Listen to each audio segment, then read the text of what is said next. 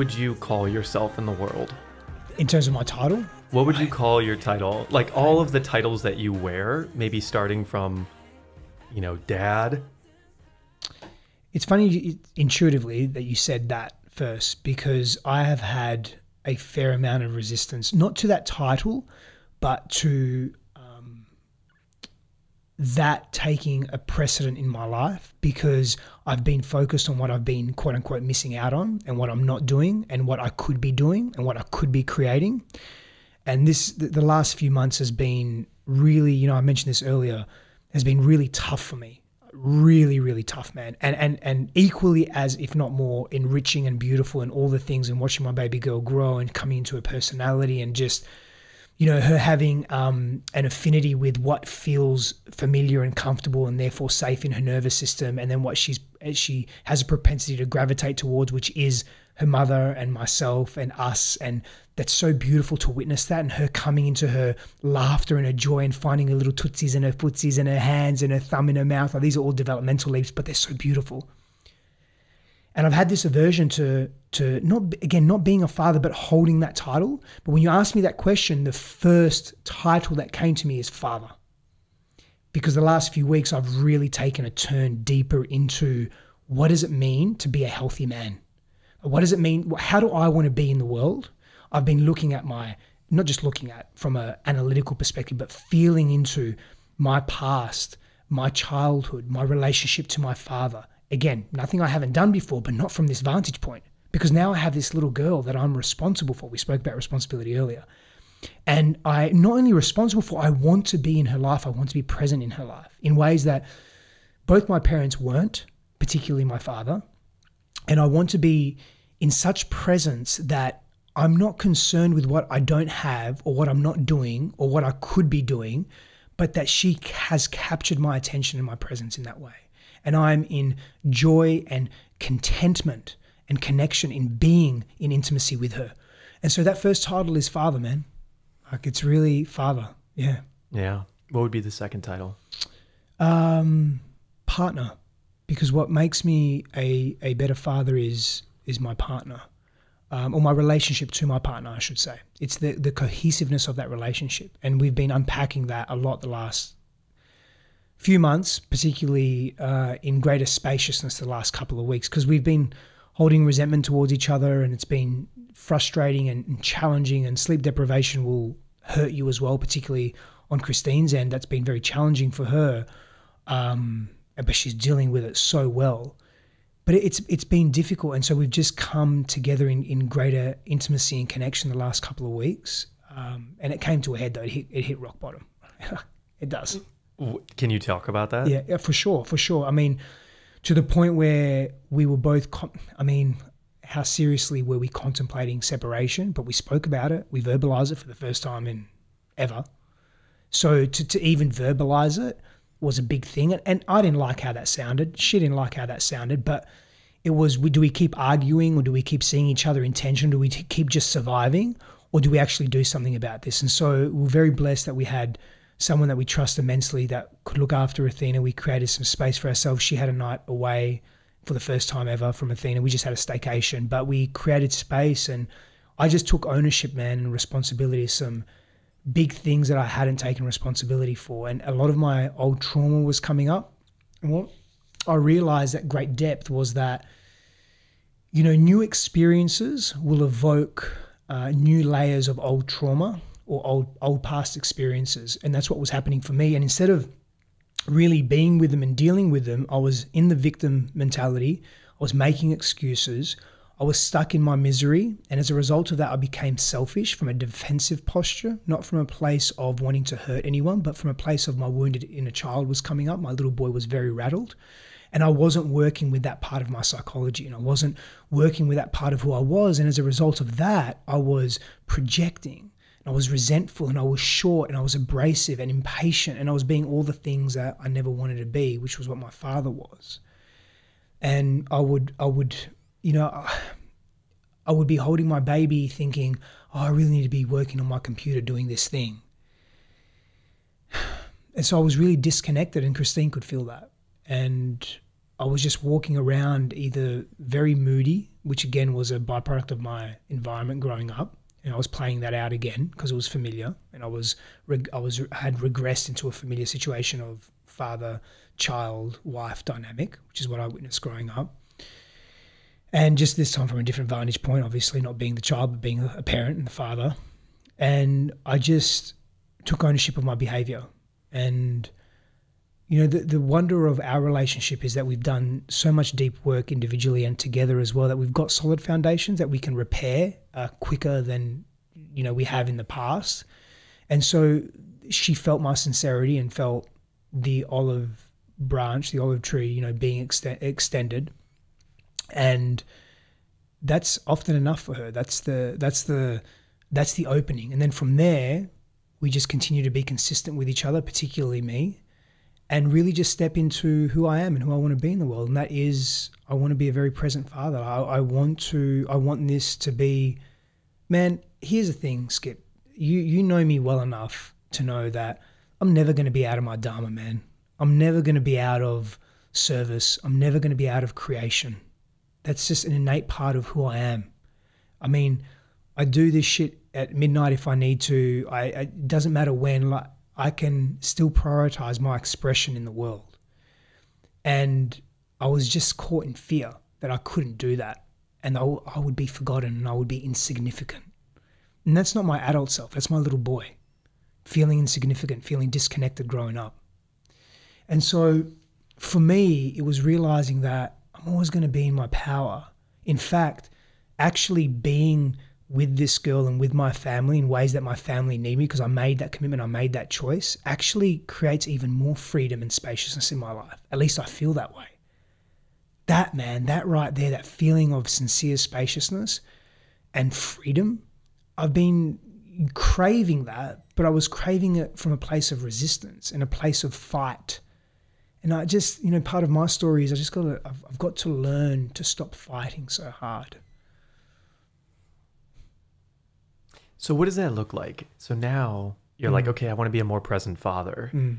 but you've caught yourself so many times holding Athena. She's six months, five months, uh, nearly five months. Yeah, five nearly months, five right? months. And now you're like, okay, I want to be different. What do you actually do? Because I've I've been down this road and I know mm. what that feels like but how are you what are you doing to actively shift that is it just the perspective was enough and now you're fully present or is this a process and what does that look like for you i think it's both the internal perspective is the vast majority of it though because that's really what dictates how i move through the world and how i relate to others and relate to myself so that internal perspective shift and that recalibration through you know deeper emotional release work as well because i wasn't prioritizing i wasn't prioritizing um, my inner work time, so to speak.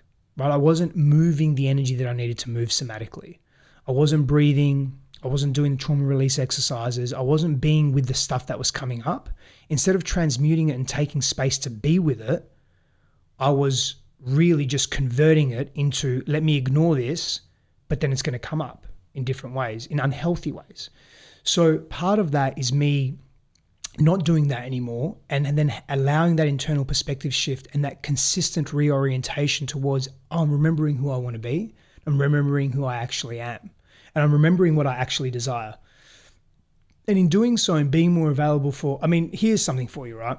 So my wife gets way less sleep than me, way less sleep than me because you know she's up, she's breastfeeding, she's then pumping. It's a woman's role as a mother, man. It's intense. You, you, you understand this, I know you do. And so she says to me, when was it? Oh, what's today? Monday? Was it yesterday? Yesterday morning. She said to me, "Hey, tonight, why don't um, you just, you know, you feed her at ten thirty, and I'll take the night shift.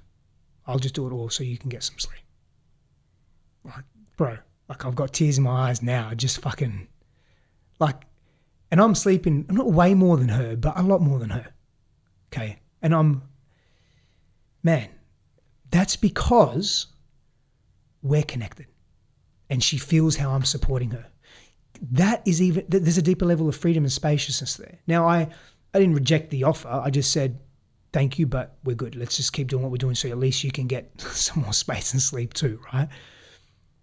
But for her to offer that, that's a testament to us doing our work together and just being present to what's arising as opposed to trying to ignore it and sweep it under the rug, which again is a pattern that I witnessed in my family, not only my parents but my grandparents as well. Right, and, and in fact, all of my all of my extended family as well.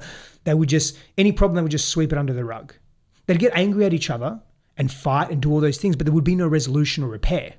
So every argument just kept compounding and compounding and compounding. And, and I just didn't want that to happen with us. And I could see that pattern playing out, and that's not my pattern. I can choose. We can choose. Every moment we can choose. And I feel like with a newborn, there's a there's got to be at least 70 triggers a day that are happening. I love you the know? number. Like Yes. a lot. Like a lot, Yeah. a lot, a lot. So do you have just like daily practices where you just go over and you just like hug her randomly through the day? Christine or my Yeah. yeah, absolutely, one hundred percent. I'll send her messages. So what are your things? Yeah, you Yeah. send her messages. Se- even if I'm in the same house, like I'm upstairs, she's downstairs, I'll send her a text. I'll I'll I'll I'll be dramatic and I'll say, pause, hey, come here. Give her a hug.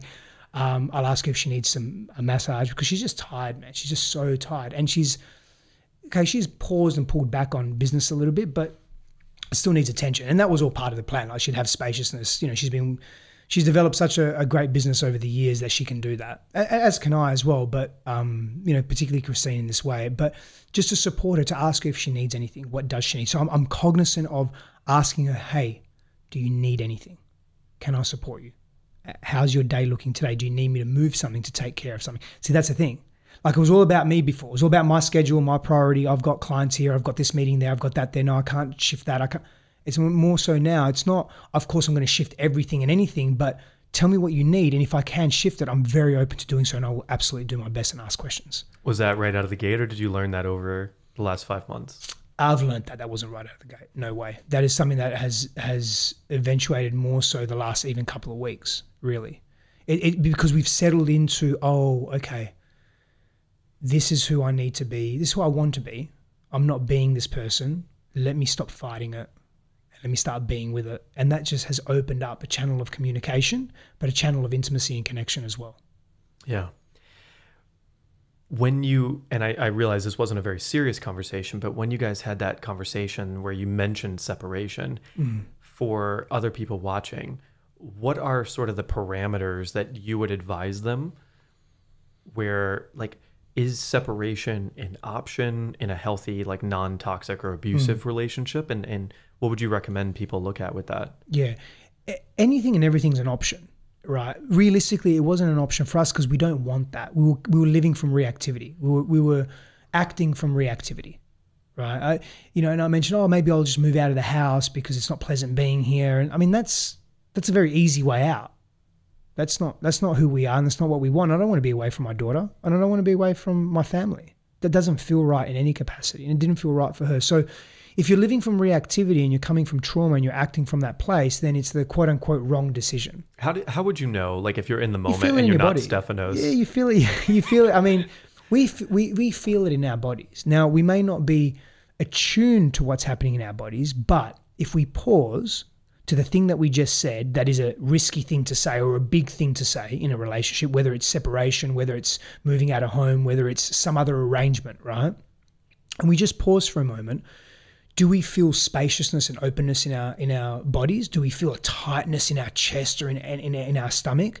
That's an indication of something. Let's explore that. Let's pay more attention to that. Now, it's easy to say that. The more experience we have with our bodies, the more attuned we are, the more somatic practices we have, such as breath work, as an example, such as trauma release exercise. So, breath, sound, and movement being the triangle of somatic um, engagement, right?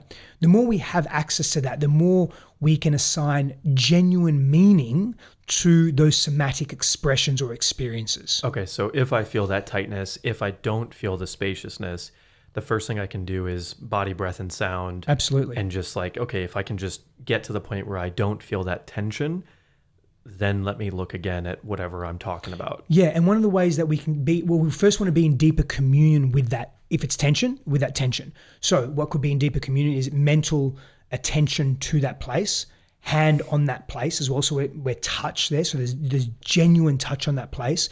Which again, anything on the frontal plane through our nurturance canal promotes a sense of parasympathetic activation, which calm, which regulates our nervous system. So you're saying if I touch anything on the front side of my body, I'm going to be calmer.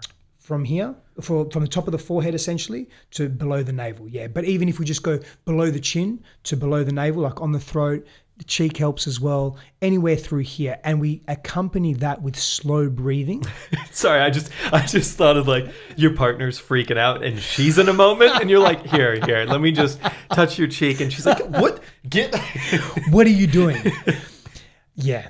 Um, so it works on yourself, maybe not others. can do on others if you have that agreement in the relationship. Absolutely. Okay, how? Tell me how I would set this agreement. How do I do this conversation? Yeah, so any agreements that are had in any relationship must be agreed upon and set out when you're feeling connected, not in the middle of an argument, not when you're in tension, not when you're in sympathetically activated nervous system response, when you're calm. So these are proactive conversations that you have. That that there, proactive conversations. Yeah, yeah. So as an example, hmm. I'm like, okay, way ahead of time. Like Yeah. In the honeymoon phase of a relationship, you can start to set 100%. these proactive conversations. What are some of the ones you've set with Christine? And can you kind of lay out what that conversation looks like? Yeah, for sure. What are the most important ones? Yeah, so one that comes to mind is how do we want to disagree and or argue? Right. And so again, we would just have these comments. So let me actually go back. So when Christine and I first met, and we met virtually, we were introduced by mutual friends, uh, Akira and Renee, who, whom you know quite well. When we were introduced uh, by them, we we began this you know conversation communion relationship on WhatsApp. And one of the things that we did is every day, pretty much every day, we would ask each other five questions. So on day one, for example, like Monday, I would ask her five questions, three to five questions. Any question I wanted to ask her. Just get curious about who she was, her life, whatever, right? Could be something funny. It could be if you could be any animal, who would you, what animal would you be? You tell me your greatest fear, whatever the question. But those questions that I asked, I would also have to answer. And then once we both completed that, she would set the precedent for the next five questions. So in that time, we discussed an array of topics.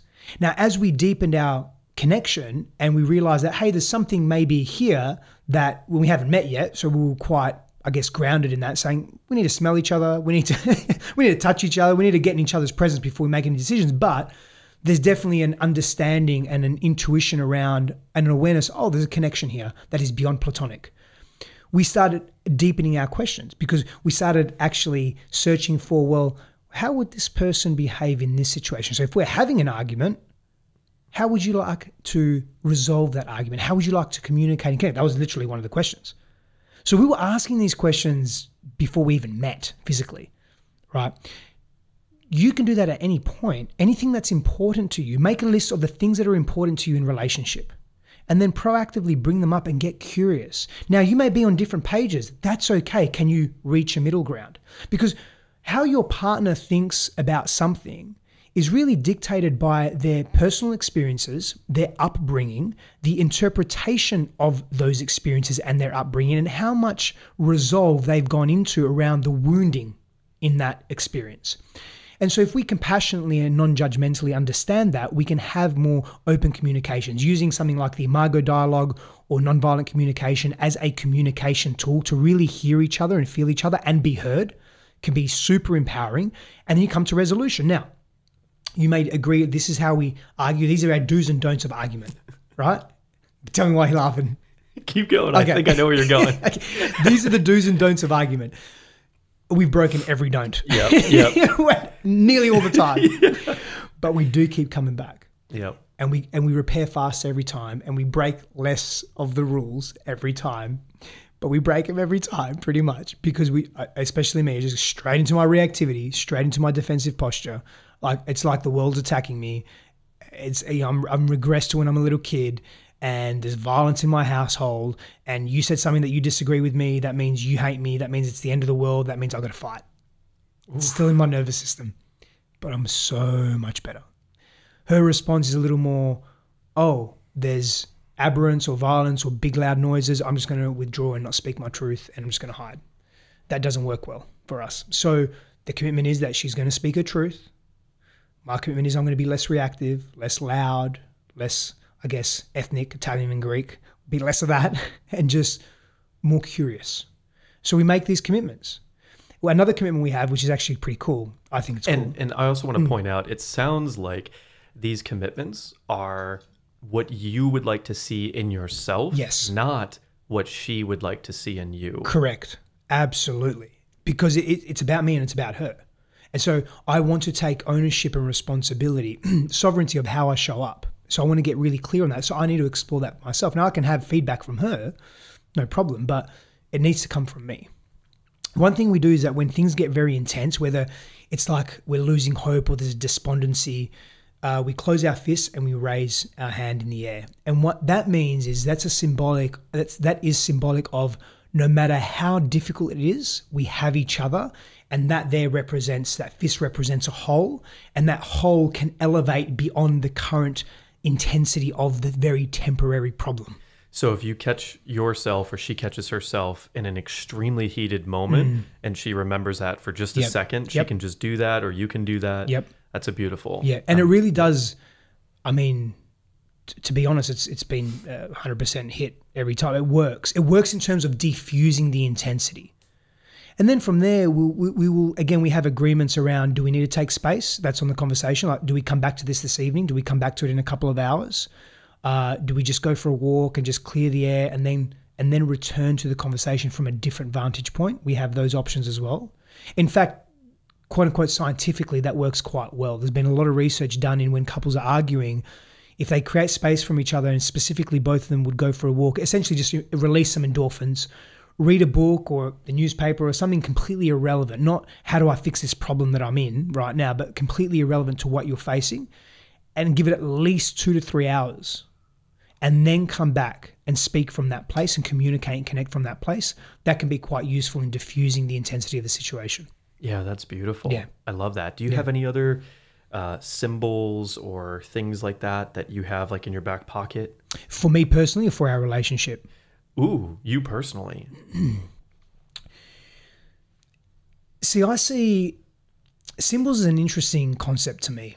So for me, all of life is symbolic, and symbols is the oldest language we have access to. And that's why I'm so fascinated with what I do in the world because essentially I, I look at patterns in people and relationships and just the world. And patterns to me are symbolic of what's underneath and then what's underneath and then what's underneath. It's like this this infinite, not regression, but this infinite um, spiral into depth that goes in every single direction. And so symbolically for me, I don't have any physical gestures per se outside of that. But what I do have are my grounded practices, my daily grounded practices, which for me are symbolic of elevation or expansion.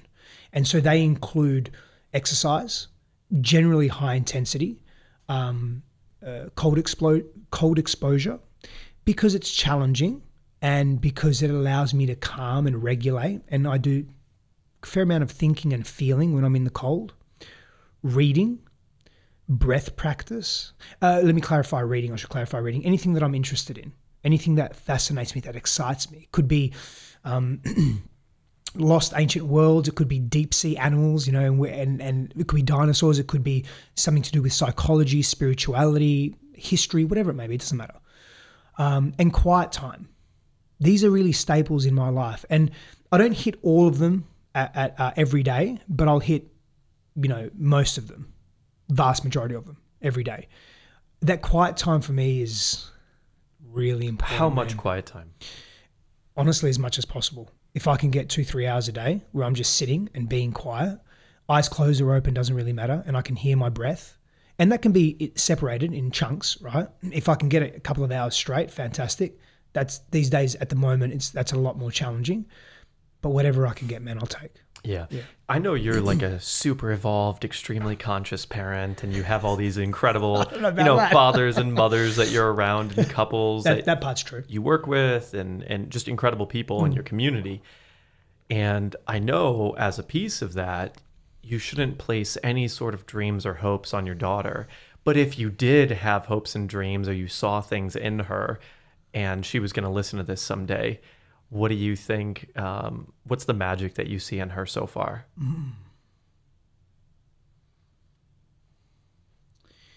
Yeah, it's difficult to not project, right? Um, but you're asking me to project essentially, so Yes. I, I can. I'm asking I you to do that. voice any projections Yeah. that exist, and if Yeah, they yeah. don't, then we'll skip to the next thing. Yeah, I mean, I, I think like most uh, parents, I want her to excel at everything. like, it's to be the fucking best at everything athletics, music, intellect, history. You remember Twins, the movie Twins with Arnold Schwarzenegger and Yeah. Danny DeVito? Basically, just be like Arnold Schwarzenegger. You just grew up on an island and you were epic at everything. That. Awesome, Yeah. awesome. but but seriously, like I envision her uh, definitely mastering music. Um, she seems to be at this point physically quite developmentally advanced, um, which is super cool. Um, and she's very alert as well, even even mentally, like cognitively cognitively advanced. So I, I would think um, some level of athleticism as well. But man, the visions I have here's what I think is actually more important. I just want her to be I just want her to be her in her dharma and her in her power and in whatever her pain, her pleasure, like all of it, right? But what I really see, if I'm really being honest, is her and I going on, uh, and Christine, of course, as well, but her and I on, on awesome adventures, um, climbing Everest together, as an example. Like legit, man. Like really, you know, whitewater rafting, climbing mountains, going to distant places that are difficult to get to, like trekking and adventuring into the world. You know, and a lot of that again will be with Christine because we love traveling, all of us. But like her and I really sharing that, that brings me, oh man, so much joy and so much um, just big feelings, man. Like really, really big feelings. And being able to provide her with that life, like giving her access to those experiences. Um, and that, that's some of my projections. Again, I mean, I don't think she's going to hate travel. Like, if she dislikes traveling and adventuring, then obviously I wouldn't force her to do. Not obviously, but I would not force her to do that. But that would be a dream of mine. That that's the biggest one. That right there, just to adventure together. That Fuck yeah. sounds awesome. Yeah. That sounds awesome. Okay, Yeah. so let's back up to when you met Christine and you met on the wonderful social app called WhatsApp, Yeah. right? Um, through friends. How would you recommend someone in today's day and age, in the world of like abundance that we have of relationship potential, Mm. how do you recommend someone isolate or so to speak like funnel Yeah. The possibilities into love Yeah, I, I knew where you were going with that. It's a great question. Uh, Jesus Christ said, "The truth shall set you free," and I'm sure many have said that before him and after him. Uh, if you want to cut through the bullshit, if you want to be deeply discerning, be super clear and truthful with who you are and what you want. It's really as simple as that. The complexity comes with we don't know who we are. We're scared to find out who we are. We're scared to ask for what we want. We're scared to share ourselves Oh, excuse me, and we're scared to share ourselves because we don't know ourselves, we don't trust ourselves, we have been told or we believe a story that we're not enough, that we're not good enough, that we're not smart enough, that we may be rejected if we express our truth because when we were younger, we asked for something and it was shut down, and that became very intense for us, and we developed a story in our nervous system and in our psychology that, well, I must not deserve that. We think we're not deserving, our self worth and confidence is low. So we're going to attract individuals that match that vibration and reinforce that story, that reinforce that belief system, that reinforce that paradigm that we are stuck in because the ego loves familiarity. The ego wants to embed itself in familiarity because it's comfortable, because it's safe. And so if we want to cut through and really get clear on the people that we are attracting and have legitimate potential partnerships in our lives, whether they're short term encounters or longer term encounters. Again, you have to be very clear on what you want. Be you. And being you means you've got to know who you are, all parts of you, not just the convenient parts, not just the parts that you want to show the world that they're probably not going to get rejected, at least the, the, the, minimal chances of that, but all of it, the shadow parts, the parts that you dislike. Be in deeper communion with those, work with those. so if you have a foot fetish you're just like yo i have a foot fetish right out of the gate Absolutely. Well, maybe not out the gate, but own it. first conversation Maybe not maybe that's the question like if you also had a foot fetish on whatsapp right and you're messaging christine back and forth Hey, what do you think about feet? I'm just curious. What, what? Just what are your thoughts on feet? Just feet in general. What are your thoughts? if i send you like seven foot photos can you just Yeah, doesn't mean anything. It's just I'm just curious. Okay, it's getting weird now. Moving on. Okay, so be completely ourselves. So Yeah, with it, and that's. But let me then back up on that actually, because that's interesting. Because the next question most people ask is, "Oh, how soon is it to say A, B, and C, or X, Y, and Z, or how soon?" You have to be mature enough, and you have to know yourself enough to know when it's appropriate. And you know what? Sometimes you may so, say something that's premature and it's and it's not appropriate at that time. And you know what? Repair is more important than the event. In trauma, when we're dealing with trauma, that shock to the nervous system, too much, too soon, too fast, what becomes more important than the event itself, especially once the event has happened, is how we repair from that event. How we show our own nervous system and our own psychology and the people around us in our own relationships, how we can repair from that. So, if you say something that's maybe out of line, out of context, a little too early or too soon, that's okay. Learn to repair from it, grow from it. Don't retract and withdraw because that's just going to perpetuate more of the same patterns that you don't want, which is going to bring, again, more people into your life that don't really align with your highest values and who you are. Okay, so here's a pattern I've been noticing in my own life. I have consistently attracted greater and greater women into my life mm.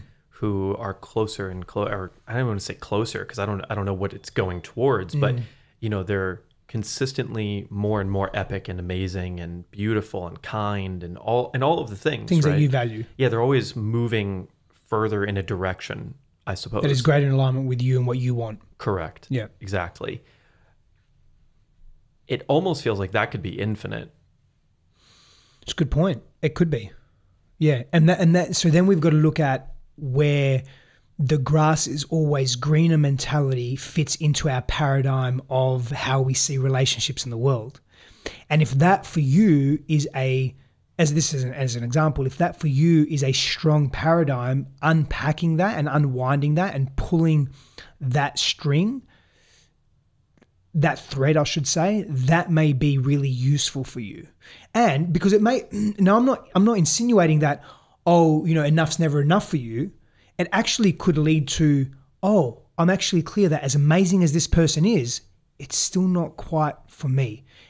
And you can then examine, am I being a perfectionist? Okay, pull that thread. Oh, I've just realized that it's not about perfectionism, it's about alignment. Or, oh, wow, it is about perfectionism. Shit, where else is that showing up in my life? Where has that come from? What's the source of that? How's it hindering me? So, again, there's no, I can't, I, I don't know where it's going to go. But I do know that when we pull, the more threads that we pull in our lives and we pay attention to the patterns, because they're indicative of something, they're showing, they're telling of something, the more insight we have into who we are. And then we can present that to the world. But we have to have confidence to present that to the world. Again, that comes back to exploring the wholeness of who we are. That's how we actually gain confidence by being comfortable and loving, compassionately loving towards all parts of ourselves. And then we practice and learn how to be that in the world. Now, one thing I will say, one more thing to that, is that when we practice with people that are safe, non judgmental, and compassionate, it reinforces our confidence around expressing and expelling the truth from ourselves. That, my friend, is gold. So if you have people in your life where you can be you, and they may disagree, but they're going to welcome that, they'll challenge you healthily, but they'll welcome you non judgmentally. That's where deep healing takes place, man. That's where expansion of consciousness of self takes place. I feel like this gets into an agreement that you would want to make in partnership with people. And for future reference, it's so beast mode on the edit that you don't ever have to do that. I can I can clean all of Oh, that. that's great. Yeah, Thank yeah, you. it's great. um, so in partnership, one of the agreements you might make is, okay, I want to completely speak my truth, Mm. right? I want to always vocalize how I'm feeling. That doesn't necessarily, in my experience, mean you want to vocalize it at any given hour of the day, any day, right? Correct. What's your recommendation for best practices of when to have the conversations around tougher subjects? Yeah. The, my go-to and what I recommend for so many of my clients, people that I work with, is simply ask the question. So you would approach your partner or a friend or whoever you want to have a meaningful conversation with and say, "Hey, I have something that's really important to me that I'd love to speak to you about." Uh, depending on what it is you may say to get your insight on or to share with you, or you can give them some context. You know, it's it's something that I noticed in you and I'd like to ask you some questions about or talk to you about it, whatever. When's a good time for you? and they'll let you know. And then you have their energetic buy-in, and you have their emotional buy-in, you have their curiosity. So th- th- there's less defensiveness there as opposed to you just coming saying, hey, blah, and pointing fingers and projecting and, and blaming and shaming and doing all those things, or even just sharing. Because they may be in the middle of something. I used to do this all the time with Christine. I would just come, she'd be in the middle of something at the beginning of our relationship, and I would just come and I would share whatever I wanted to share and have a complete disregard for her because I thought, well, she should just prioritize me. It wasn't an arrogant thing, it was it was a, a wounded little boy thing because I never got that growing up. And so I wanted that because we unconsciously project our parents and our parental dynamics, parent child dynamics into our intimate relationships. And we do that less and less as we mature more and we get very clear on those patterns and we start to sort of remove them from our, our everyday life and practice. But it's just that. It's just really asking the question, get their buy in, let them know how long you may think the conversation will go for, you know, 30 minutes, 20 minutes, two hours. And then you're both in the conversation. And so, in my experience, on the flip side of this, right, is that with the more feminine partners, right, hmm. sometimes you know that there's like a thing, mm. you know there's a thing, and you don't want to like tug on the thing. Mm. You want to sort of like allow them to be a cat, so to speak, and just Yeah. like, Come to you. yeah, like it. I know there's a thing. I want you to talk about the thing so we can get through the thing Yeah. and it can just air out a Yeah. little bit. How how do you do that with Christine when you know there's like Yeah. a thing? 'Cause Yeah. she- you know, and this comes down to what Jordan Peterson, I believe, calls agreeableness, right? Yeah. Where women are just feminine people are just generally more agreeable. Yep. And I am sort of like mid to not agreeable. So I'm I'm more like, oh, I'm just gonna like voice the thing. And Mm. I've learned lessons over the years of not always, right? Set a time for that, set a date for that if you Mm. have to. With the more feminine partners, I'm like, okay, I want you to voice the thing. Mm. But if I say that, it becomes seven things, right? What's your what's your best practice on Mm. Yeah. helping them voice it? Yeah, two two practices on that. So create the uh, create the space first by so if you're noticing something that needs to be aired or voiced and you're intuitively picking up on that and your discernment says you know what there's probably something here maybe i've done something or maybe i can see how my actions prompted this or maybe something happened in her life and i know that's definitely affecting her and she wants to speak about it but she's holding back you know grab her hand look at her in the eyes and say hey if there's anything you want to talk about i'm here for you now, you're right though, because sometimes that level of safety opens that person up to want to say not just one thing, but two or three or 10 things, right? And so you need to be really sure within yourself that when you say that, not that Pandora's box is going to be open, but that you're prepared for the storm or the depth that's about to come. And if you're not, then don't do that. Don't take that action. like it's fucking simple as that. Don't do, you've got you've got to respect yourself. Like, You've got to know where you're at. Can you hold the energy that may come for you and come to you, I should say. Not necessarily for you or at you, but to you. Maybe in your space. And here's something I always say. We have to move away from taking it personally. Holding space in the spiritual communities, particularly in Austin and other other places Bali, like Encinitas, Encinitas, Bali, Tulum. Hawaii. Yeah, you're nailing it. hold space, brother. Hold space, sister. No one knows what the fuck that actually means. I'm going to tell you what it means from me. I'm going to tell you what I think it means. Holding space means someone can come to you and you're not activated and triggered in a negative way because you don't take it personally. You're actually literally able to put your stuff aside and really hear that person and be a space for them, a safe space for them to express. So we have to do our inner work and know that this isn't necessarily about us. Now, if we've done something, we've taken action that has activated something within them, we can take ownership of that action, but we haven't caused that within them. They're still choosing to respond or react in that way, but we can definitely check our actions. My point is, though, the first thing is, hey, I'm here for you. I, I sense there's something you may want to speak to. You don't have to be ready right now, and I could be completely wrong, but if there is, I just want to let you know I'm here for you. But sincerely be able to be there for her. And the second thing is to not even say anything in words, but be that energetic space. So, what that may look like is clearing time in your calendar for your partner. It may look like taking her to uh, an expansive place, like a physically expansive place, like a park or an ocean or a, mount, a hike, get out in nature, uh, do something special, sort of out, out of a special meaning out of routine to create the space, take her out of her familiar environment where she's experiencing stress, perhaps, and, and then give her the opportunity to just naturally express without even saying a word about, oh, there's something you want to say or you need to share, say it. They're the, they're the two things that I would do Wonderful. do. Yeah, thank you for that. as someone who's less agreeable Mm. and as someone who's more maybe structured mm. in the way that I go about life and generally attracting people that are less so, less mm. structured and more agreeable, right? Which I love. I love that. I love chaos and I love because I'm not like that. So to have someone like that is is very attractive, right? Yep. To a point. to a point yes yes and that's that's where we're going with it right is so when you're some of the beautiful things about having that really feminine partner come with other aspects like indecisiveness right? Or just general confusion in common circumstances like even like what to order at a restaurant right? Yeah. um, little little things and and bigger things too right? Uh, where to go on vacation or i mean all sorts of things like that where i'm like okay i kind of want to just step in and make all the decisions. And there's a part of me that also doesn't want to do that best practices So, internal practice is always first, right? And what I mean by that is looking at your own life and looking where, okay, where am I not? I say I'm structured. I say I like clarity. This person is presenting a beautiful opportunity in their lack of structure and their lack of clarity or their confusion for me to step in and make very simple decisions.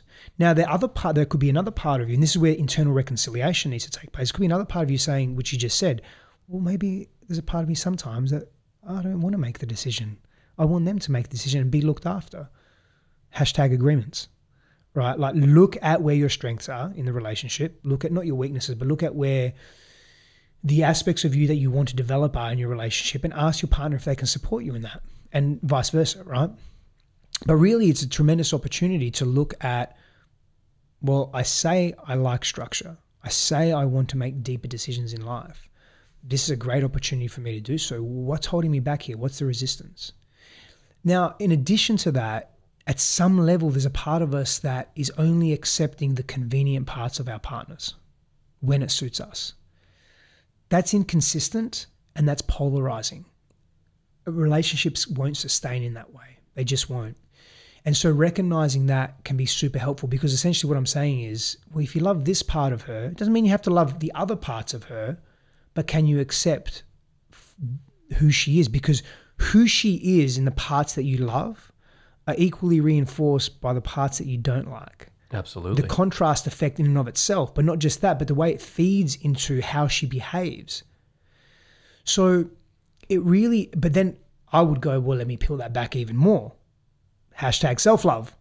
Where are you not loving these parts of you? Where are you not accepting these parts of you? Where what parts of you are you not loving? Are you not accepting? Are you are you stuck in your routine and unwilling to change? What does an unwillingness to shift and change signify and symbolize for you? It's this fine line. Like I can't tell you whether oh this is a non-negotiable or it's not whether it's a trauma response or it's simply a value set you need to figure that out. you meaning you of course but whoever's listening to this like you need to figure out the thing that you're searching for no one's going to search no one's going to search for you and no one's going to figure it out for you you can have guides along the way that are going to help you with new perspectives and vantage points but no one's going to figure it out. You've got to make that decision and you've got to wear the consequences or what I call the experiential outcomes of those decisions. It's a more neutral word because sometimes consequences have a negative connotation and, and that- it may be hurtful, but you've got to wear that. That's how we grow. We can't avoid that. So I don't know if that answers your question. Absolutely. I think it does. Yeah. Absolutely.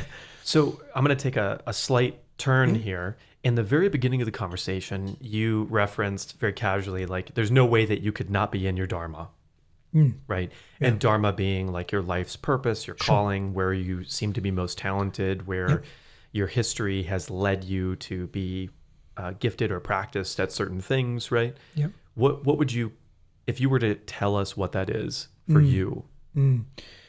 Uh, where to start with that? Uh, so part of it is being a father. So and really embracing that. So for 35 years, I'm 40 years old. So for 35 years of my life, I never thought I'd be a father, nor did I want to be a parent or a father. I had a revelation uh, five years ago. I was driving to my um, friend's house, Simon. He's a tantra practitioner and very talented human being. And I was doing some deeper work with him at that point, and I'm really moving through some uh, deep shadow work essentially. And I was on my way there, and I was quite sad that day. I had a very difficult morning, a lot of tears, a lot of anger, just feeling very deflated, very physically weak because of the emotional release. And um, was in my brother's car. I didn't even. I didn't. I didn't think I even owned my car. I didn't have any car. I didn't have a car then at that point. I was in my brother's car and I was driving to his place, and the clouds started covering the sun a little bit. I remember the Stirling Highway. I was on Stirling Highway in Fremantle, and um, something hit me. And the, the the message I got, or the words that came to me, was, "I can be a father." Just that, I can be a father. And tears started streaming down my my face, and I started thinking about and feeling into this whole relationship with my father because we were doing some work around that at that point. It was it was new work on an old theme, right? But we are doing some work around that, and and it came up very very strongly, and that was the first time that I opened my heart up to being a parent. And so I see that as part of my dharma.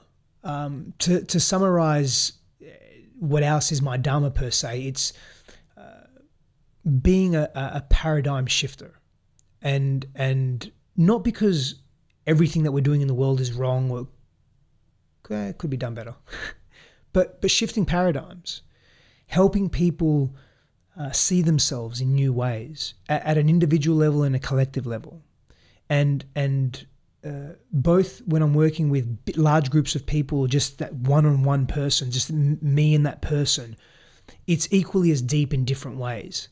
But really helping people break free of their trauma, uh, break free of their past conditioning. And to do that in, in mass ways um, and to do that just at the heart to heart individual level, right? And I haven't valued that as much in my life, but I'm valuing it more now because I see the impact that I have just by showing up with my daughter, by feeding her, by being there when she wakes up in the morning, by all these little things and how the effect, the net effect of that, when I walk into a room, man, she lights up. And to be honest, I'm not being arrogant here, but she lights up with me very differently. And I'm sure I'm projecting here, but very differently to even her mother. Like really, really even Christine sees it too. It's very different because I'm putting in the hours. I'm actually putting in the hours, and and more so lately, very sincerely.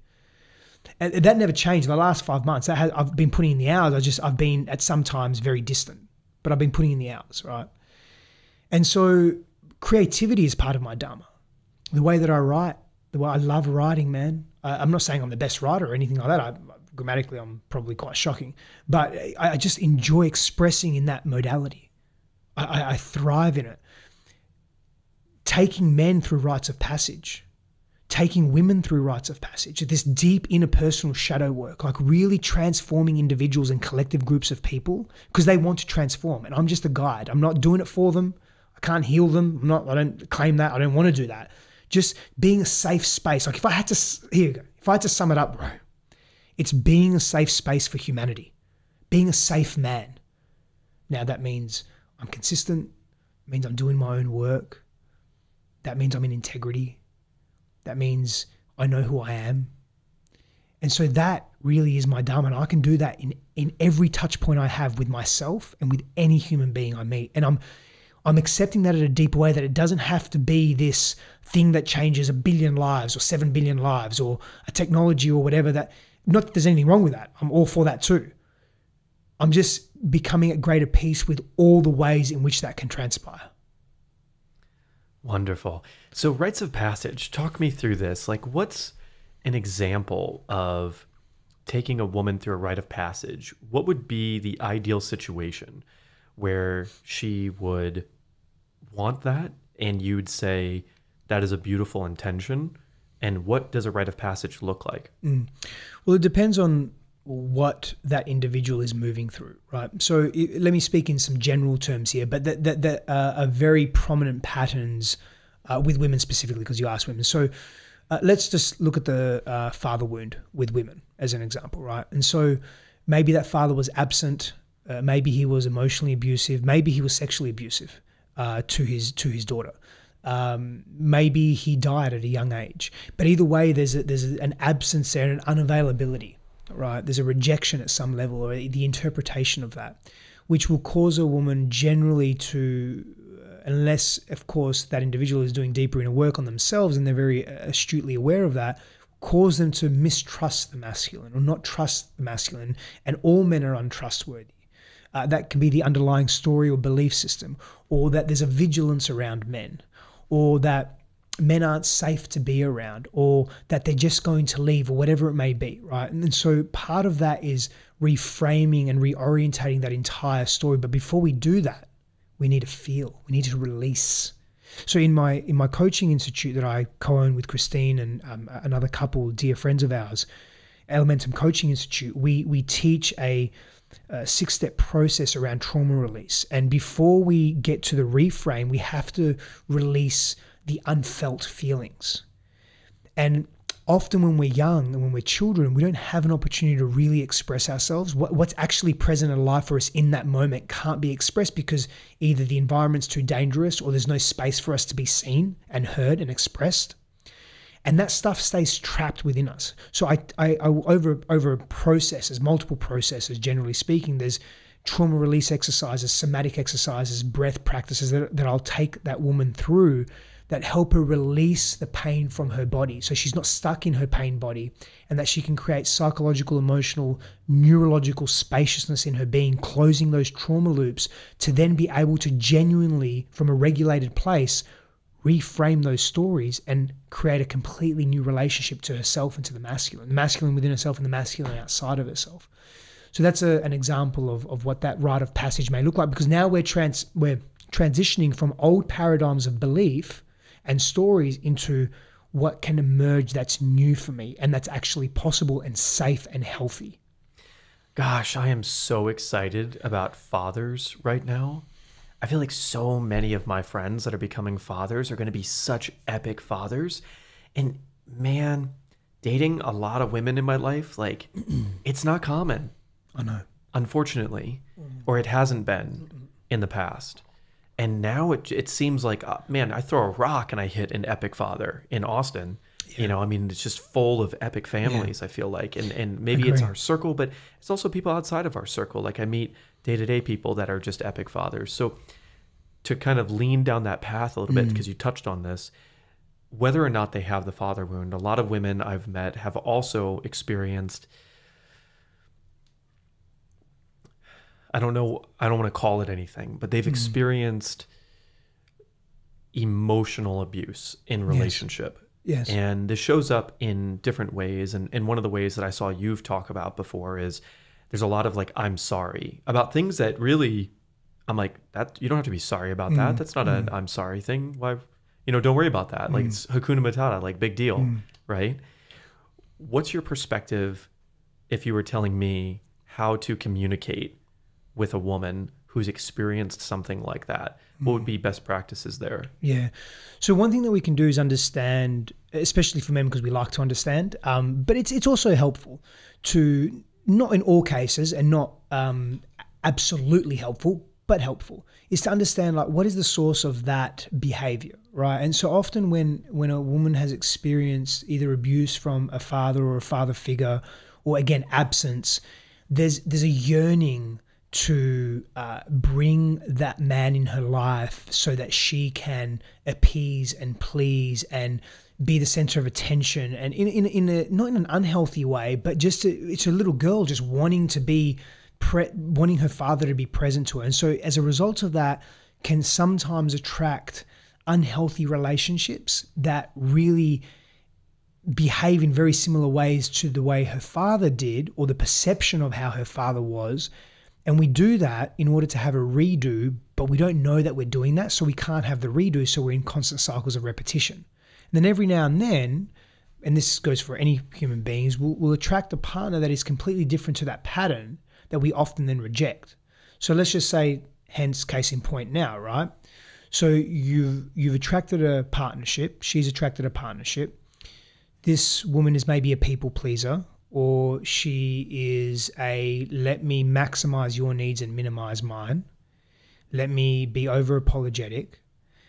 Looking at where that comes from insecurity, low self worth, not feeling full within herself, needing and seeking external validation. So, what can you do is you can recognize that, you can not judge that, you can be a safe space for her to be curious about her own self. You can seek couples coaching or couples therapy, you know, whatever it may be. You can look at how you're feeding into that. You can look at what you can do to help her and support her in her growth journey of gaining greater self confidence and moving out of insecurity into power and you may also realize that's not the type of relationship you want. And so that's an opportunity to be really honest with what you are, where you're at. I'm not asking you to be her caretaker, and I'm definitely not asking you to be her father. I'm not asking you to take responsibility for her or be her therapist. But remember, there's a reason why you've attracted that as well. And so one the one reason could be to get, oh, I'm super clear, that's not what I want. This relationship needs to end. Or it could be something else that's deeper if you give yourself a minute to sit in that space and say, okay, maybe this is a reflection of me. Am I too dominant in my life in times where I, I shouldn't be or I needn't be? Am I needing someone that is or sees themselves as quote unquote below me to serve my own ego? to to make me feel better about myself. So am I carrying insecurities? Because like attracts like as well, right? So these are these are a couple of examples of what to look into within yourself. But again, getting curious about where you're at, us being our first port of call because we have greater mastery and control over that. Control being an illusion, but park that for a second. But that that is a good, I think, a a solid place to start. Beautiful, beautiful. So I'm going to take another turn here. Mm you in the last five years since you had that moment driving on the highway Stirling Highway, I believe, in Australia, right? In the last five years, you've undergone tremendous transformation, mm. and there, there's so many facets to get into here. And maybe you can remember all these things that I'm going to mm. throw out there. Okay. One of them being, it's it's quite possible, from my perspective and knowing you, that you were one of these men that a lot of women would consider unhealthy back then, mm. right? And you've completely transformed. And this is like the dream of all Disney princesses, right? Is that you would find the man who is the beast and transform him, mm. right? The reality is you need to transform yourself, that. right? So that's a big part of it. So maybe you could speak about that a little bit and how that played a role in your relationship with Christine and how that was built. And also the other transformation I've seen you go through that's been tremendous is your transformation with your relationship to business, abundance, mm. community. That that's transformed dramatically from the first time I met you in Jamaica at A Fest, right? Mm. So those two things I feel like are going to go hand in hand in this story. Yeah. Can you speak to how that's evolved for you and what were the key pieces? And I'll just kind of pick at things. Yeah, of course, man. So the the the base piece is I think what's really important is that we don't neglect our beast. I think there's uh, the plight of the dangerous man is actually really important in society. But it's not the man that is reckless with his power. It is the man that understands and knows his power, knows the beast that he has within, and knows how and when to wield that beast, right? And to be in a very specific, particular expression. He's not controlled by his trauma and his reactivity and his insecurities, and he's not power hungry. So my internal transformation began well before I even knew Christine existed. Uh, and it had to because I had to take responsibility for that and, and come into a deeper dance and communion with all these parts of me and not neglect them, not negate them. There were some parts that I was done with, right? Like the the part that objectified sexuality and objectified women and used sex as a way to numb my trauma. I was done with that part.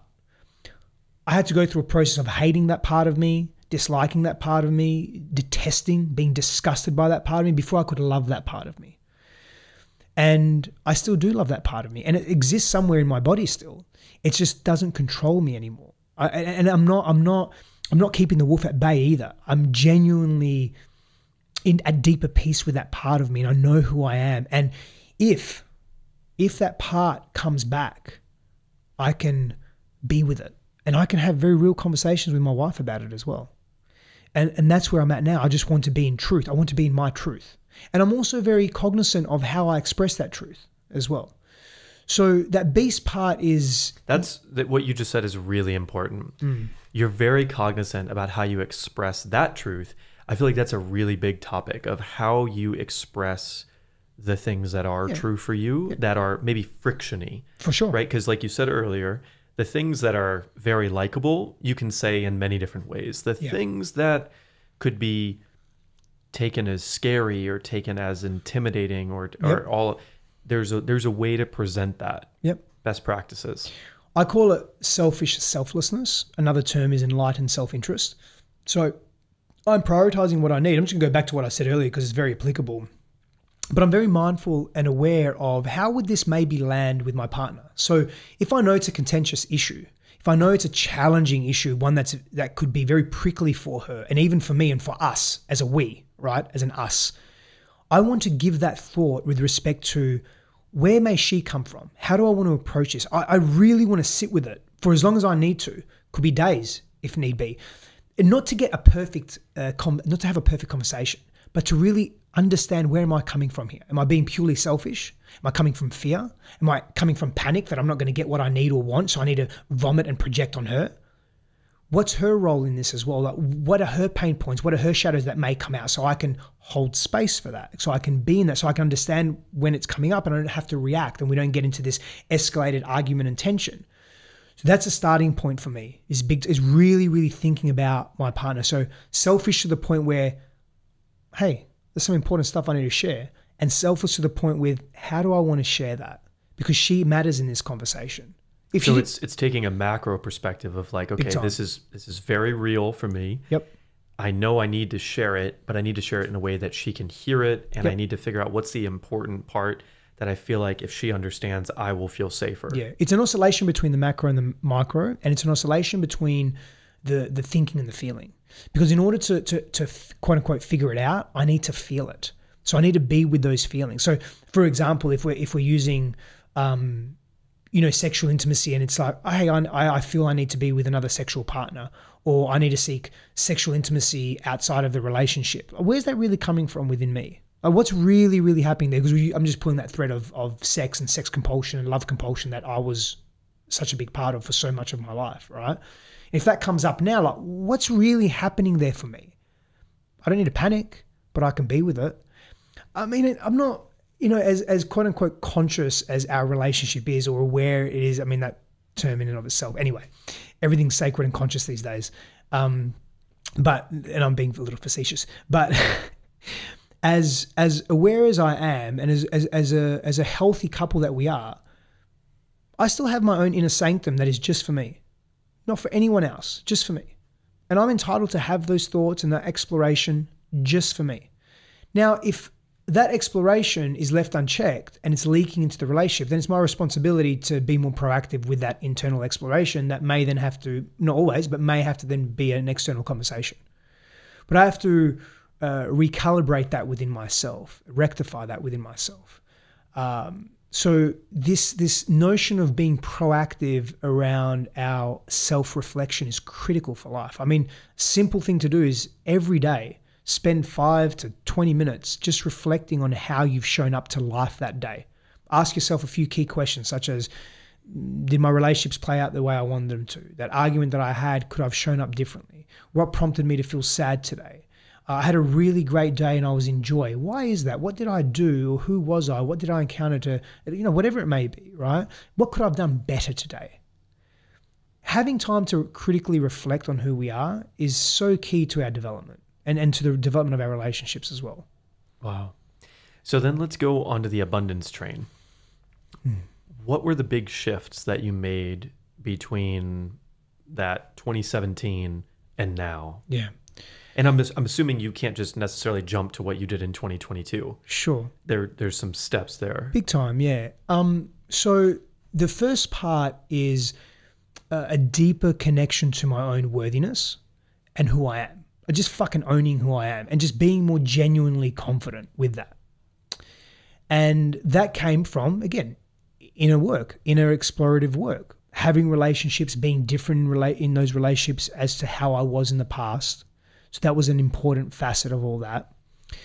The other was uh, taking some big risks in terms of immersing myself in the unknown, which I'd, always done, but this time I was doing it from a different place of awareness and consciousness.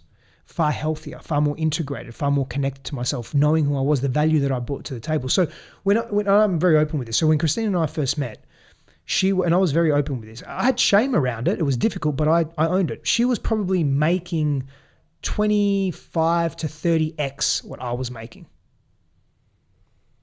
So I didn't have a lot of money, but I knew the value that I brought to a relationship and I was growing. I was growing. I was growing. What I needed was people and a new environment to see me for who I was in non judgmental ways. Like Christine really believed in me. And and I'm the type of person I very much value networks and, and friendships and people. You know that. You're you're very similar. Like in my human design, that's which is a somewhat of a personality test. It's it's I I, I align with. There's a few that I align with, but I people are my thing, man. Like I can't. I, my success is vested in people, in relationships, in intimacy. And I mean, I coming to the US, I had that. Christine introduced me to all of her network. And I ran with it. Like, give me an inch, I took a mile. Not in a bad way, but I really honored the relationship and I really honored that dynamic, right? And I put effort and time into it, genuine time, not to get something from it, but because I was curious about this, but what could I learn? So I was hungry to learn, man. And I was finally in Perth, in Australia, I felt like a, a and I wasn't successful there at all, to be honest, but I felt like in terms of my mindset, and not that I'm better than Perth or anything like that, but I felt like a big fish in a small pond Coming to the US, I felt like a very small fish in a very big ocean. And I liked that. I didn't get scared about that. I got excited about that. I got curious about that. And I just started to grow and I started to educate myself in deeper ways. And I did deeper work as well. And being in that relationship with Christine allowed me to do deeper inner work. I have a very firm belief, man, that the more our inner work, our level of inner work that we do correlates to the abundance we experience in life, whether that's material wealth, objects, money, whatever, or a sense and or a sense of internal spaciousness and abundance. The more inner work we do, it's been true for me, the more inner work I do, the more the more money I make. Quite fucking simple. And now, like if we fast forward, I make, I make way more than Christine, and her income hasn't dropped. Her income's only gone up since I've been in her life as well. So I needed someone to see me, to hold me. She believed in me. She really did. She really, she's a big part of my success. But I did the groundwork and I continue to do the groundwork. So it's not just all her, it's not just something external to me, right? But I took advantage of the opportunities that I had and I believed in myself and I continue to do that. And I continue to do that deeper work as well. And I also have become more intelligent around finances and abundance and the, the energetic spiritual game of abundance and wealth, not just wealth in, in a material sense, but wealth in, in an energetic feeling, in a, a sense of, I say, I call it spaciousness, expansiveness within. So there's been a number of different things, but over the years, I just continue to grow and I continue to look at myself and I continue to ask questions and I continue to be humbled by life and not pretend or think that I know everything. Is there like a core message that you would say all of your writing centers around? Yeah, I think there's a couple, and they they uh, intersect. You know, um, nurture that part of our psychology that needs nurturing. In other words, the inner child work, the the shadow work. Uh, integrate that into one's being, and life becomes deeply fulfilling, whatever your definition of fulfilling is. Right. Um, and the other part to that is is willingness.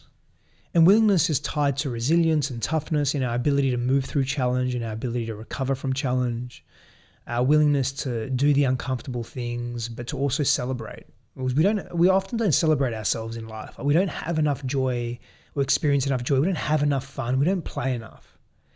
And so it's a willingness to go to the uncomfortable places within ourselves and the undesirable places within ourselves. And equally, be in the desirable places as well. And there's that balance there, right? And so I, I think, to, to be honest, man, I, I, I've never been a person that is, I don't have an elevator pitch. I suck at that. I'm just, I'm just not that person. And I don't want to be that person either. And so I think when I look at what my core messages are, because I also believe that we don't have a core purpose, or some people do, but we have core purposes because we're multifaceted beings. And so I look at my core messages, it's really about not being driven or not being controlled by our unconscious past, healing that, uh, being surrounded by people that really see us, creating safety in our own nervous systems for ourselves and for others. um, being willing to just go into life and be into life. Um, but yeah, it's, it's that deeper healing that that really gives us an opportunity to be the greatest versions of ourselves, or ever evolving greatest versions of ourselves. I don't think there's an end point to that. Right? Yeah. Yeah. Okay, so two questions that are just dynamite that I'm re- I've been really excited to ask you. Number one, for men, what's the highest leverage shift mentally or emotionally that you've noticed has helped them become more fulfilled or more abundant or any of the things that they're seeking? What's the highest single thing that you've noticed as a pattern because you're a patterns person? Mm. for men? What's the highest leverage thing that they shift in general?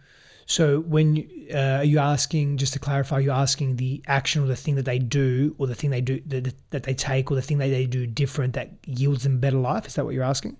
Both. Both. So the actual change they experience and the thing that they do. Yeah. So the category of of change and Got it. what's the what's the number one Yeah. thing? Yeah. So one of the biggest problems men face is a sense of isolation and aloneness in the world, not having anyone to talk to, not having anyone to share their lives with. Uh, you know, the vast majority of men are the ones that commit suicide. The vast majority of men are the ones that are in very dangerous jobs and isolating jobs as well, whether it's war or something else. Uh, men are not emotionally inept. They're not emotionally uh, dumb. They're emotionally distant and not emotionally intelligent because they're not taught how. And not only are they not taught how, they're told it's wrong to be in their emotions, as if we don't have a limbic system, as if we, we don't feel, you know. And so when men create community, when men begin to trust other men and feel safe in the presence of other men and also challenged by other men, man, I, I can't say one thing, but I'll, I'll say a couple of things actually. So, firstly, that sense of loneliness is diffused. And they stop either being um, hyper dependent or codependent on their partners and their families, and they create space and a life away from their family in a healthy way, though, right? No, no, no, no, no. Uh, let me spend 15 hours a day in fantasy football and disassociate from my family and responsibilities. But they actually uh, feel they, they feel more fulfilled within themselves, right? They have men that they can trust, and they go instead of projecting their pain onto their partners and their families and blaming them or letting it leak out. They have an outlet to vent emotionally. And as a result of that, they feel less isolated, they feel more fulfilled, they feel happier in general. They lose weight, they lose body fat, they're not holding onto all that armor, right? They heal and mend the relationship with their own parents, particularly their father. That's a big one. And it happens internally, actually. Their father doesn't do anything different. But the way they see their father, even if their father has passed on, the way they relate to their father, the way they tell stories about who their father was completely shifts. It's interesting, like if you children full stop, but little boys they yearn for their father's attention. So little girls, but they yearn for their father's attention. That they, as adults, they'll they'll recall maybe if their father takes them on a fishing trip for like a day or something, they'll blow that out to oh every weekend we went fishing or it was three days of it was so good. And because that's what they they crave that right? And so that that changes and shifts when we internally shift the relationship to ourselves. And it really begins with being in the presence of other healthy men that can support you on your journey. That you know, that that alone syndrome that isolation syndrome man it's really really it leads to depression it leads to anxiety it leads to suicide it leads to violence it leads to you know uh, isolation begets isolation. And we don't have men men in the community being men. They, they distance themselves as fathers. Either they leave literally the relationship or they're just working all the time because they they're they are receiving some sense of validation external validation and and status accolade through their work which helps them feel good. And all they're doing is replacing replacing pain with pleasure. The greater the pain that we're harboring and numbing the greater the pleasure we require to avoid that pain if we're not willing to face it hence the term willingness why why it's so important. So I, I believe that answers yeah that explores that question. And then, as as much of a minefield as this might be Mm. for women, what's been the number one category, if you will, in their life, and what's the number one thing that you've seen have the highest leverage for them to become more loving of themselves and Mm. fulfilled? the, the feminine often asks uh, how can i enhance connection and intimacy in my relationships to self and to others and so forth right so that that has been uh, an outcome that when a woman goes deeper into her own self worth and stops compensating outside of that, whether it's through sex, whether it's through uh, external validation in partnership, whatever it may be, right? Whether it's through promiscuity, and men do this as well, they just do it in different ways. But when a woman really delves into her self worth and she knows her value and she heals those past wounds, what tends to happen is the caliber of healthy relationship that she attracts increases dramatically in her friendships as well. Like that sister wound is healed too, because she's trusting herself in deeper ways so she can trust women in different ways. And again, experience that support. And as a side note, somewhat tangent, when men do their, their inner work together and women do their inner work together, we can then actually come together in more meaningful and impactful ways that becomes very powerful for humanity, not just for the individual, just as a side note. So it's it's really that self-worth increasing, knowing that they are valuable and they bring immense value to life, full stop, right? Um, and healing those past wounds of you know, kids can be really challenging and difficult, man, as we're finding ourselves and, and developing. There's so much bullying that takes place and ostracization. Ostracization, what, yeah, sorry, I said that correctly. And isolation again and judgment and so forth. And that carries with us in our adult relationships. And our self perceptions, our body image, it gets affected. Our sense, our emotional self, the value that we think we bring to life and to relationships. And so that starts to really clear up and become more evident in a healthy, positive way when a woman really does her self work, her um, self worth work. Sorry. Yeah. Okay. Another very exciting question. What are like the core things for you personally that you're like, these are pieces of my life on a daily, like your two to three hours of stillness and silence yeah. with yourself, uh, right? add that now. Yep. Yep. yep. So what's what are the other core practices? So that's like a daily one. Are there weekly, quarterly, yes. annual? What what are these for you? For sure. So it's it's definitely spending time with other men in intimate settings in nature. Um, ideally, uh, doing men's work, getting together, you know, getting on the mat, doing shadow work. That's part of the practice.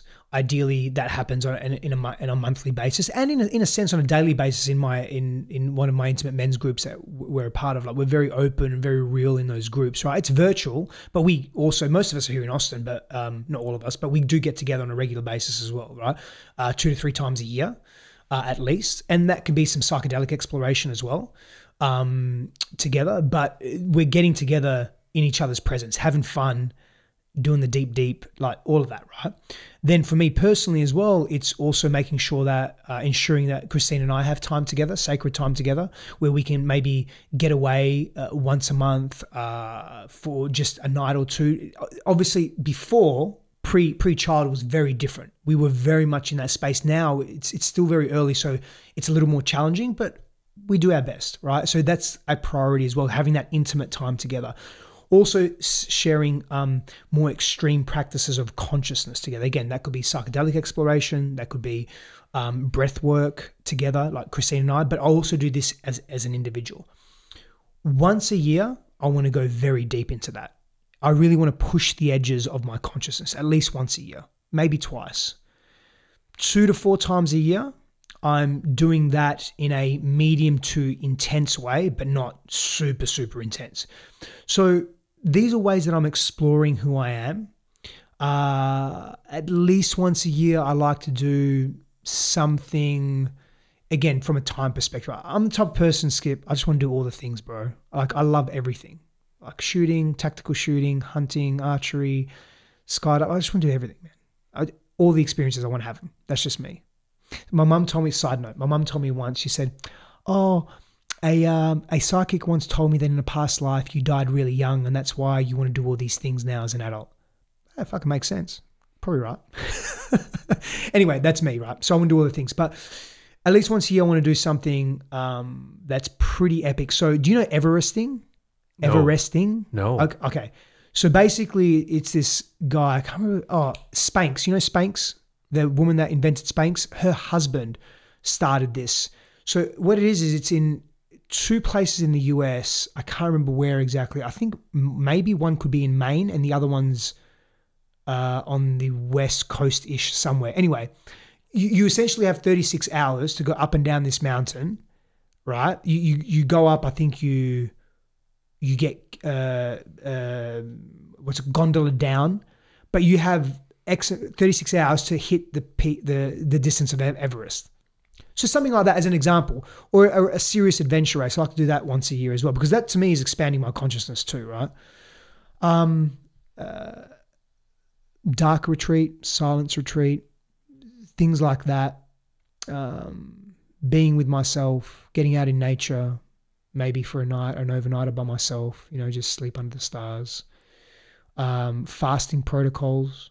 Um, it's any one of these things, or sometimes a combination of them like if I was to do a darkness retreat for say seven days, I would fast as well, just water on that, on that, on that too. So, you know, I'll do extended fasts. Um, the next 12 months, I'd like to hit a, a 15 day water fast at least, maybe 21. Be 15 day would be the minimum. Um, see how that goes. So, so things like that where I like to explore, right? Um, there's some of my uh, sort of macro practices that I don't do every day, of course, but that I would allocate over the next year or, or two. Yeah. yeah. Okay, final question. Is there any big message that's sort of showing up right now in your community or in the world at large that you feel like would be really important to share and something you'd like to get off your chest in a very professional setting? Mm. Mm. A number of things come to mind, but I, I guess what, what really, really is front of heart for me as well is this this the world that we live in today is a really interesting place in the sense that I, I believe we're uh, over politically correct. And I think that carries a hindrance to how we express and communicate. We're holding back, right? We're, we're demonizing a difference of opinion. We're, in fact, we've been demonizing difference for a very long time in all expressions. And by minimizing that and muting a difference of opinion, I think we're losing as a humanity. I think we're devolving. And I don't I don't like that. Now I'm not talking about blatantly being rude to someone or discriminating someone or judging someone. Check yourself. If you have a charge on someone, if you're judging, if you're discriminating because of someone's physical appearance or because of their social status, then fucking check that. And let's all have an opportunity to disagree. Because I think the way that we're disagreeing now is not healthy because we're not even fucking disagreeing. We're all trying to say the right thing. Fuck that. I, I think there's a there's a space for us to disagree. We're mature, we can be, I should say, mature human beings. Let's act like we claim to be evolved. We claim to be the apex predator. We claim to be the most conscious, sentient, aware thing on this planet. I can poke many holes personally in my own life, but in the collective humanity where we are not behaving like that. We are not being like that. And this over PC culture that we're in, um, it has a place. It had a place. It has a place, right? Sensitivities matter. P- being more thoughtful and selfless around how someone may feel by saying the thing that we're just going to blurt out, it has a place and it's useful. But we've gone to extremes from my perspective. And I think that shit needs to fucking stop. Beautiful. Okay. So, when people fall in love with you after listening to this episode, what's the best way to get in contact with you? How do they digitally stalk you? Yeah. Or uh, physically, or if physically. you want to do that. yeah, yeah, yeah. Probably it's, it's all welcome. Um, uh, StefanosSifandos.com is my website. All the information's there. But in my, any of my social media channels, at Stefanos I'm most active on these days TikTok, Instagram, Facebook. I got kicked off LinkedIn, man. And I can't get back on. What? I had such a strong network on LinkedIn. Fuck you, LinkedIn. I'm so upset. I'm so upset. How did you get kicked off LinkedIn? Man, you, you know my Sunday posts that are a little more sensual and erotic and so forth. Yeah, they speak to you know sacred sexuality. Everything's sacred. Sacred sexuality. You know, human interaction, relationships at a deeper level, right? Um, so my assistant was just posting that for me, and I wasn't looking at the email that it was connected to, and they kept giving me these warnings saying, "Oh, your content's explicit, this and that." They just shut me down. And every time I try and go back on, they recognize the algorithm must recognize my name, obviously, and just keeps booting me off. Fuck LinkedIn. It's a bummer. It's a, it's a, it's a it's a bummer for LinkedIn, is what it is. Yeah, thank you. I appreciate that. I'm, I'm not happy about it. Yeah, yeah.